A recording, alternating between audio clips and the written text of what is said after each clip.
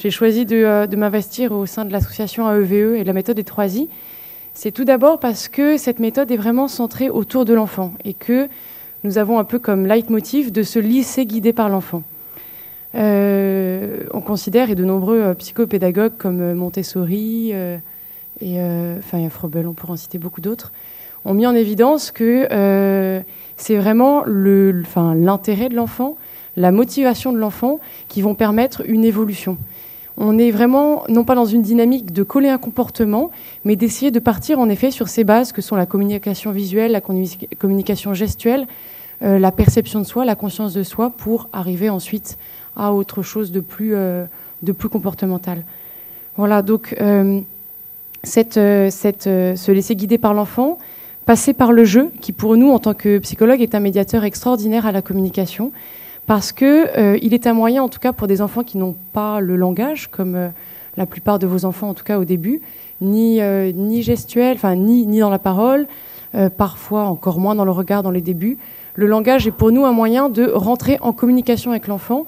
et euh, pardon, le jeu est un moyen pour nous de rentrer en communication avec l'enfant et surtout de venir là où il en est. Donc auprès de l'enfant, dans, dans, la salle de jeu en tant que, que psychologue, euh, finalement notre formation qui nous a sensibilisés, enfin et même formés, au, développement normal d'un enfant ainsi qu'à son développement pathologique, nous permet d'être beaucoup plus sensible au comportement de l'enfant. C'est-à-dire, je vais prendre quelques petits exemples. Ils vont nous permettre de distinguer un même comportement qui va être du type autostimulation d'un comportement qui va être euh, dans le jeu d'exploration. Alors là, le, souvenir qui me, vient, c'est on a parlé de tout ce qui était babillage, vocalise. Euh, j'ai pu observer dans, différentes séances un enfant qui était vraiment dans, le, le, stade du babillage, de la vocalise. Donc il y avait beaucoup de jeux euh, de bouche dans lequel on pouvait vraiment entrer, qu'on pouvait entretenir, parce que c'était la base d'un développement. À d'autres moments, euh, c'était plus un jeu de bouche ou de vocalise, c'était un jeu de gorge. C'est-à-dire, il y avait vraiment une autostimulation et une recherche de,